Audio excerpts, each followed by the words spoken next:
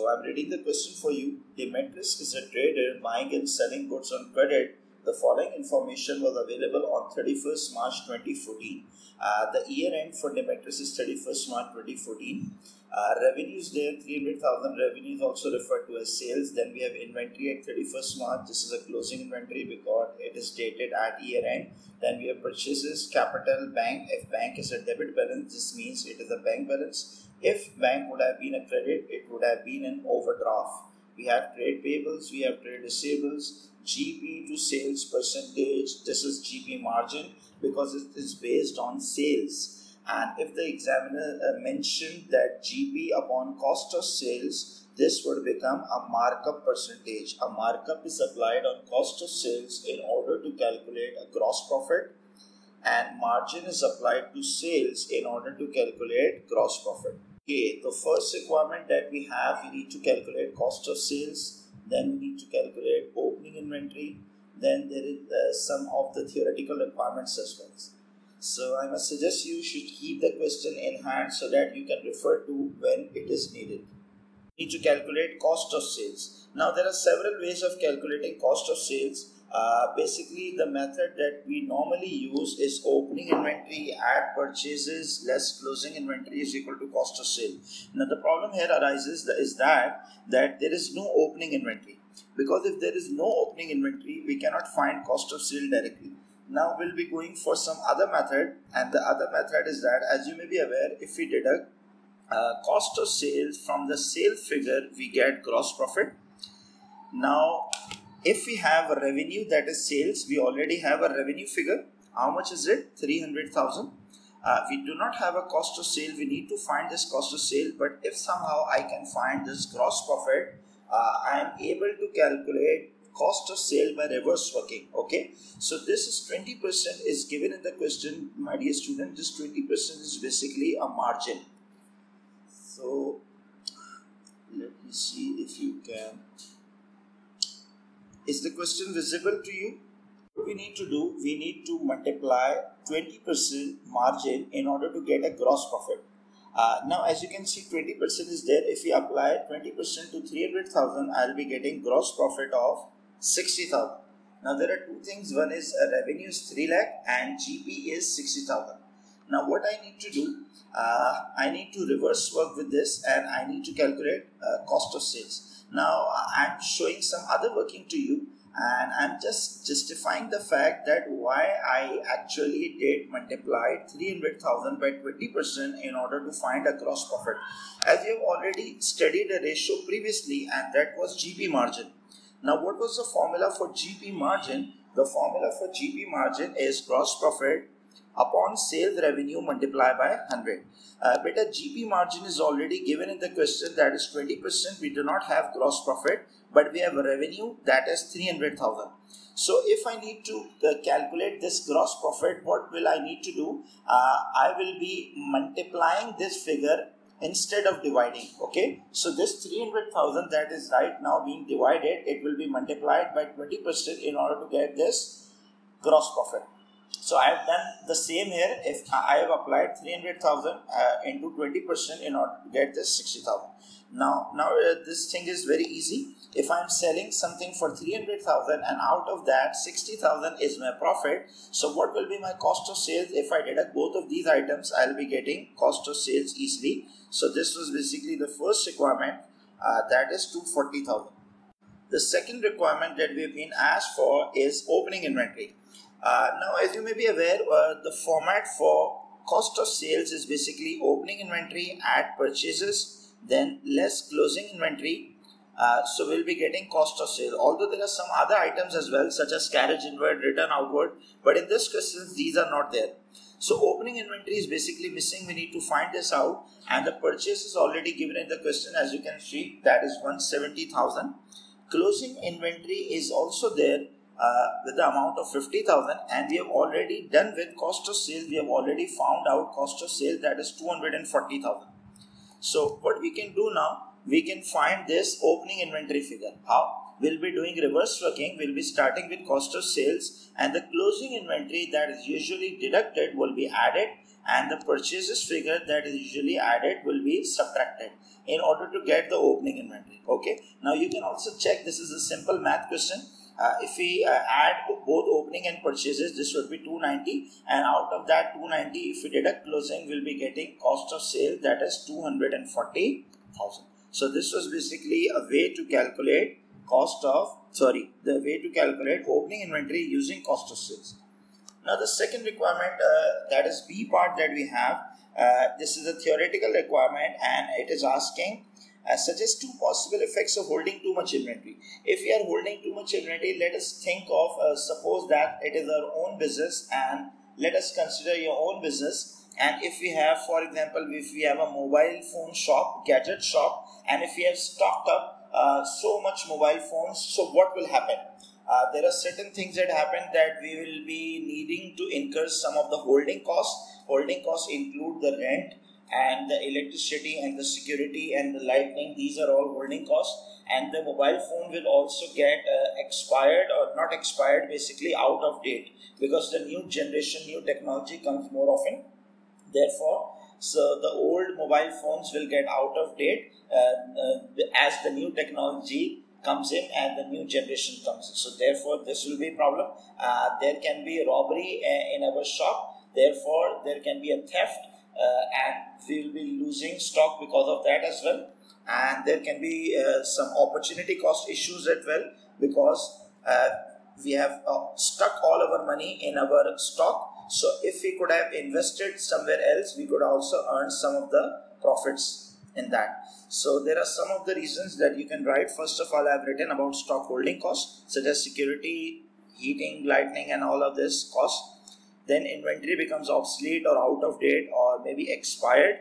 If we talk about medicine or food, there are perishable goods, these expire over time. So, what other uh, options can be? Although we need to write only two in the examination, but we are just discussing some other options as well. Uh, deterioration of the inventory, that is damage. Inventory may be damaged due to some cases. And what else can be? There can be a risk of theft. Yes, there can be theft and we can lose our inventory. Opportunity cost of money tied up. Now, opportunity cost, you must have uh, studied this previously in business, maybe business studies. So, opportunity cost is called a value of second best alternative. If you have two options and if you choose the best option, uh, by choosing the best option, you forego the opportunity to choose the second best option. Okay, so the opportunity cost for number one option is the opportunity that is lost with the second option okay? So this is basically the opportunity cost. If we invest in inventory we cannot invest anywhere else. So there can be liquidity problems for the business as well. So these were basically some effects of holding too much inventory if we have stocked too much inventory. Now let's move to the next part of the question. And for the next uh, i have sent you the image uh, we need to calculate a working capital ratio that is current. So the formula for current ratio, working capital ratio is current assets upon current liabilities. So in an examination question, you need not write the formula, but the thing is important that is the workings. Workings are important. Formula you must you can skip the formula, but not the workings. So let us uh, go back to the first part of the question and see what are the current assets in this question that we do have. But for current assets, we have closing inventory that is 50,000. And what other things that we have other than closing inventory? Uh, for current assets, we have bank balance because it is a debit balance and we also have some trade receivables that is 11,000. So there are basically three current assets and current liabilities are liabilities that are due to be repaid during the next year. So we have trade payables, we have only one liability it can be other payables as well and it can be a bank overdraft as well. Now if I add up all of the current assets, these are 66 I guess and if I, uh, there is only one current liability that is 60. So 66 upon 60,000 this would uh, result in an answer of 1.10. So why I am writing 1.10 instead of 1.1 because the examiner has specifically asked us to go for two decimal places although 1.1 and 1.10 theoretically means the same thing but we have to follow what the examiner is saying we need to maintain it for two decimal places okay Uh, so we'll won't be leaving it here till 1.10 rather we will be adding a ratio 1 in this. Now what does this ratio 1 means? Ratio 1 my dear students mean for each dollar of current liability we have current assets of 1.1 dollar. Means current assets are uh, 10% more than as we have current liability. So this one would always be constant.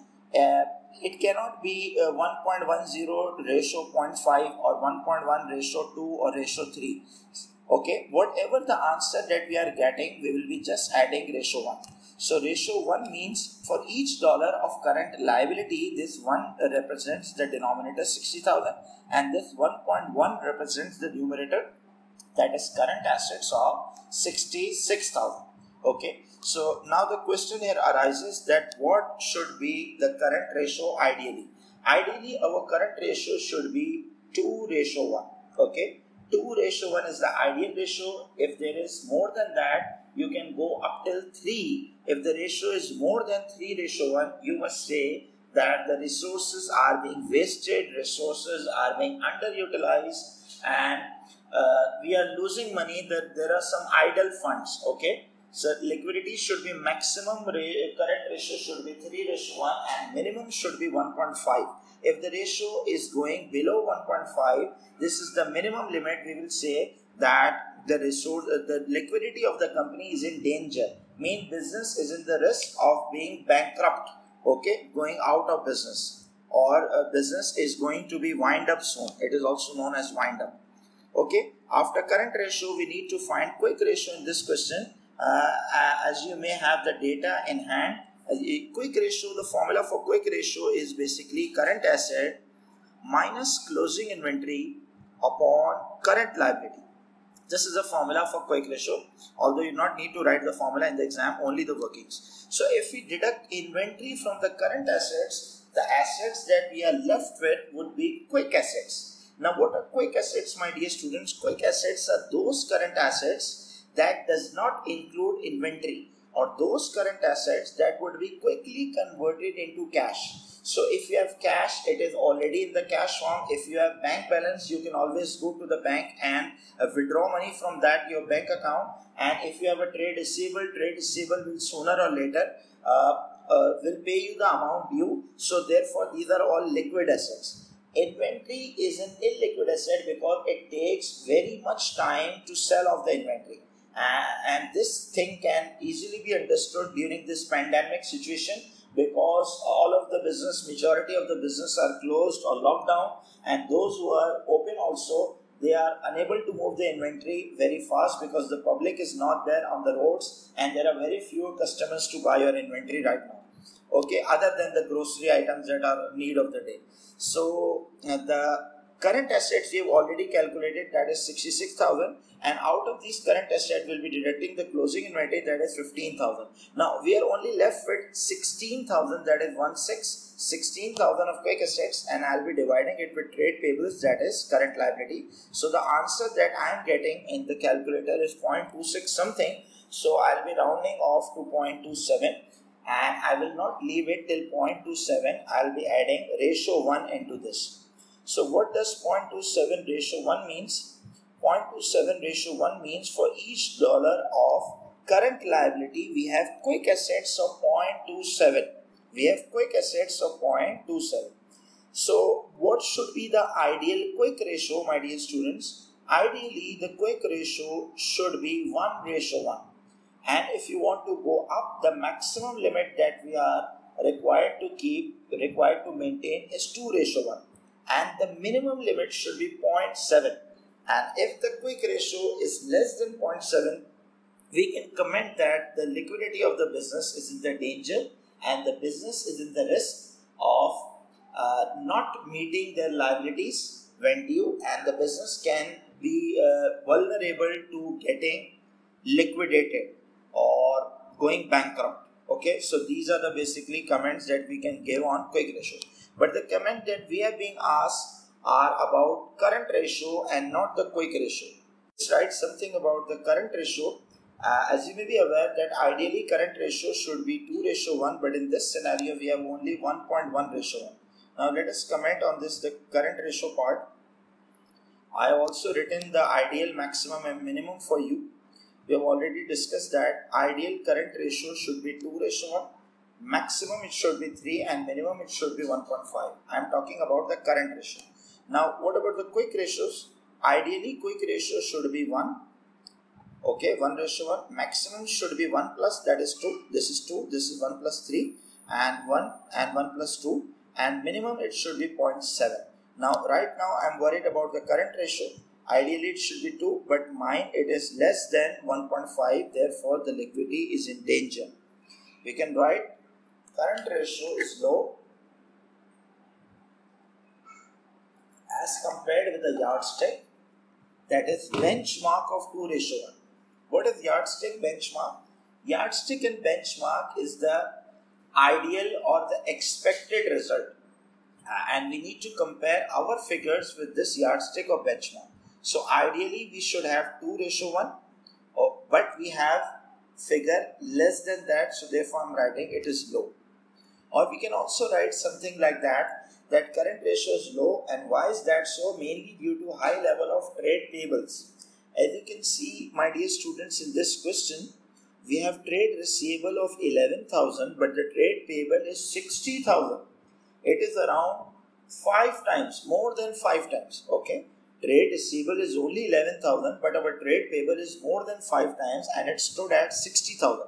So therefore, the current ratio is low and the main reason for that is we have high levels of trade payables. We are just uh, accumulating our trade payables and not paying them since a long time. Therefore, we have built up a huge amount of trade payables and now we are worried about the liquidity of the business.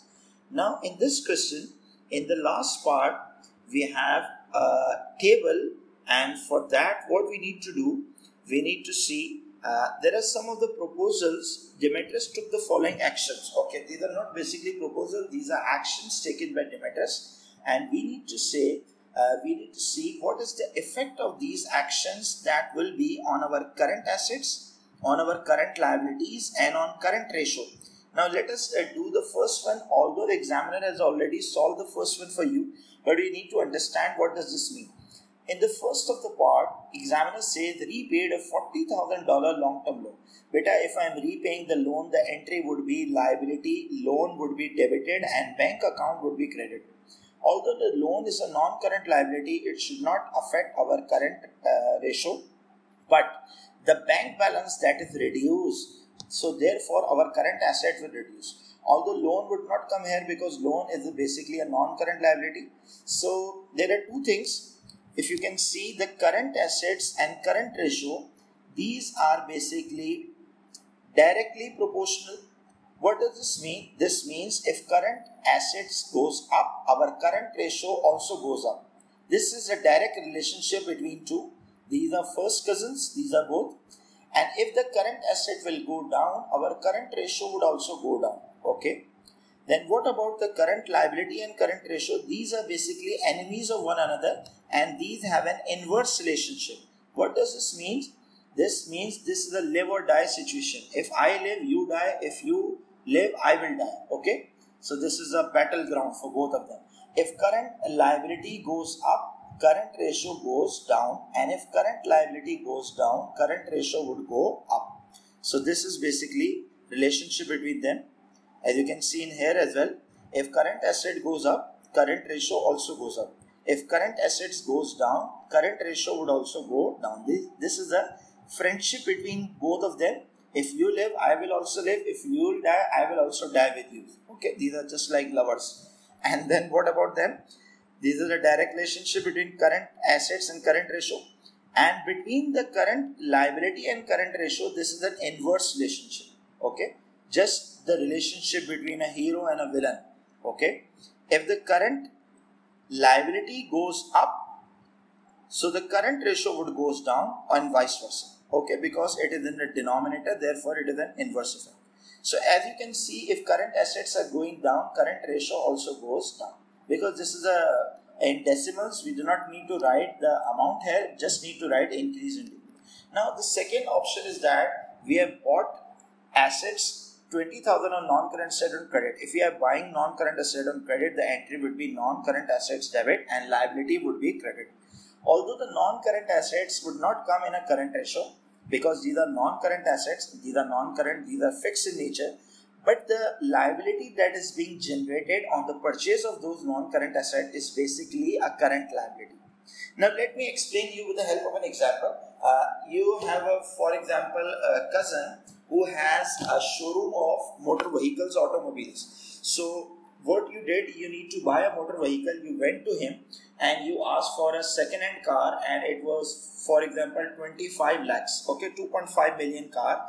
Uh, he showed you few of the cars, and one of which you selected, and you said that okay, I'm taking it, and I'll uh, let you know if I'm keeping it with you, and and then I'll pay for it. Okay so he was basically your first cousin. He gave you the car. Uh, after much selection, you took a car and you went uh, driving it home happily. And after few days, maybe a week or ten days, your cousin called. Sir, dear, what about the car? Did you like it? Did the family like it? You said yes, everything is all well, and I'm keeping that car. Okay.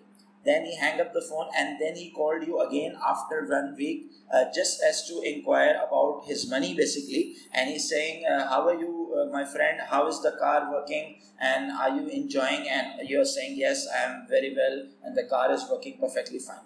Now he asks you, Dear, what about the payment? When will you pay for me? Pay to me for this car. And what you did and the answer that you gave was a surprise and you said beta uh, my dear this car is basically a non-current asset and the life of this car is basically at least 10 years. So i will be paying you for this car after 10 years okay? Because this car is a non-current asset therefore i am also buying it on a long long term basis okay? So the liability would be also a long term so will your cousin accept this? No. He will say beta it is a hard cash item this is a toyota car it can uh, it is a ever ready car it can be sold in cash anytime as I want. Okay, so I am not selling this car to you on a non-current liability basis. This is the liability that is a current liability. Okay, so just told this scenario so you understand this. Uh, so non-current asset there is no effect on non-current asset because if we are buying a non-current asset car the no effect on non-current but the current liability would increase. Why? Because you have to pay for this car, no matter it is a non-current asset, you have to pay for it as soon as possible. So our current liability would increase by 20. So if the current liability is increasing, so current ratio would be decreased. Okay, because there are inverse relationship between these two of them. Then we have sold inventory for 20,000 on credit. The cost of which is 15,000. The inventory that cost at 15000 we are selling it for 20000 so there are two transactions here. Uh, when we set, sold the inventory for 20000 our debtors would increase by 20000 but our inventory that is stock would decrease by 15 but a one thing is coming that is debtor is increasing by 20 but the stock inventory is decreasing by 15 so overall as you can see 5000 positive figure we are getting. Overall current assets are increasing by 5000. How? Trade receivables are increasing by 20 and inventory is decreasing by 15. So overall you can see there is an increase by 5000. If we have sold inventory, we would have trade receivable and not trade payables. Okay.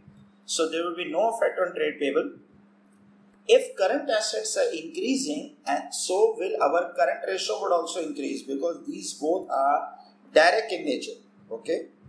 If current asset is increasing our current liability is also increasing. Now uh, although the question here is over let me solve a few more uh, requirements for you and one of which is trade receivable turnover.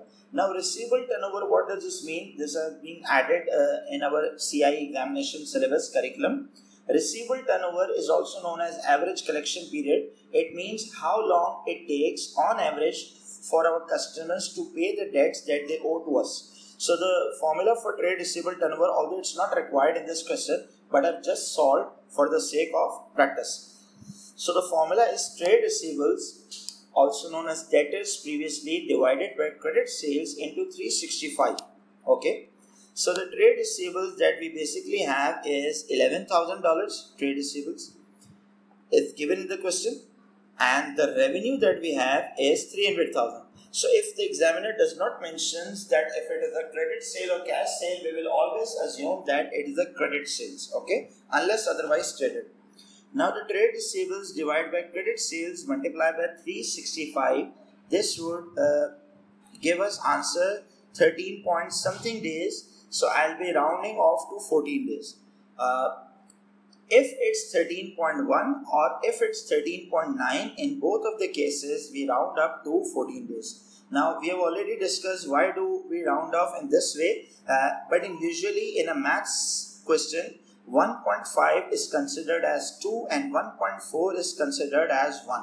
But in receivable or payable or in inventory turnover, whenever we are talking about days, 1.1 day also means 2 days, okay? So if I'm saying to you that I'll pay you the amount in 1.1 days, so this would mean definitely I'm talking about the second day that is 2 days, okay? So we'll be rounding off to 14 days. So the question here arises, my dear student, whether trade receivable turnover should be less or whether it should be more.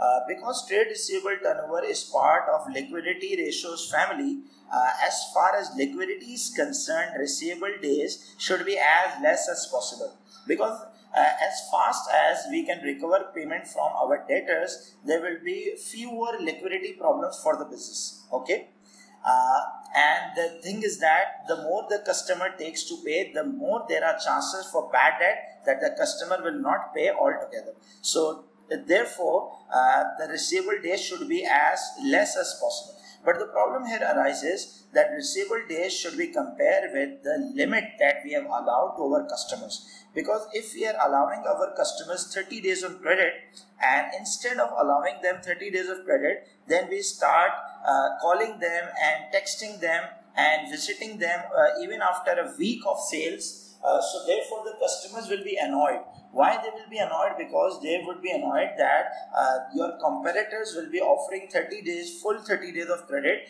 and you are now pressurizing them to pay early as possible. So therefore, they will be annoyed and they will try to move their business if, if it's possible for them to your competitors. So overall, in the long term, you will be suffering because of lack of sales. Okay, your sales will be lost. So therefore, it is recommended that receivable turnover should be according to the limit that we have offered to our customers. It should be uh, somewhere around the limit. If the limit is 30 days, so it should be around 27 to, for example, 32, 33 days, not more than that okay uh, then after receivable turnover we have another ratio that is payable turnover payable turnover is also known as payable payment period now how can we calculate payable turnover or payable payment period? The formula is very simple. Instead of trade receivables we'll be using trade payables. And instead of credit sale we'll be using credit purchases. Multiply by 365 because there are 365 days in a year. So the trade payables is already given in the question uh, that is 60,000 and credit purchase is 170. Uh, if the question does not mention that how much of the purchase is on credit, we'll be assuming that 100% purchase is on credit unless otherwise stated. Unless the examiner says that this much portion of the purchase or sales is on cash basis, we'll be assuming all of the sales or purchase is on credit terms. Then multiply by 365. Again, trade payable turnover is 128 point something uh, whether it's 128.12 or whether it's 128.89 we will always be rounding off to 129 days so how, uh, how what does 129 days mean 129 days means that on average we are paying to our suppliers in 129 days. On average it, it, we are taking 129 days to pay a supplier. Uh, then the problem here arises that payable days should be more or less. Uh, as far as liquidity is concerned, the payable turnover should be more and more as possible.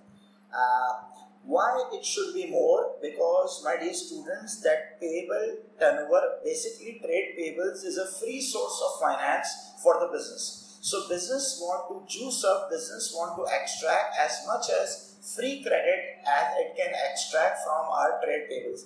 Because uh, the more uh, we extend our trade payables, the less is the amount that we need to invest in the business ourselves. Therefore, we want to play with the supplier's money as much as possible. And the best example for this, as you can see in the grocery supermarkets, such as these Walmart, and in the local example, the Imtiaz supermarket and all that, because they are selling all of the, the stuff grocery in cash and they are buying it uh, on credit. So so that they do not have to invest their own money into the business okay? They are basically doing business with suppliers money so more the trade payable is it's better for the business now the problem here arises if we extend credit period to more than it is allowed by the suppliers then our suppliers would be angry then our suppliers will be annoyed and maybe they do not supply us the money and supply the goods in the future. Why? Because uh, uh, we are not paying the amount to them on time if we are not paying them timely they will we will be risk that our supplies will be stopped or either they will continue the supplies but they will be charging very high prices to us because we are a high source of credit and we are we are a risky customer okay? So therefore if you do not want to uh, and there is another point and that is for discount receive as well. If we are paying them late so we will be foregoing the discounts receive.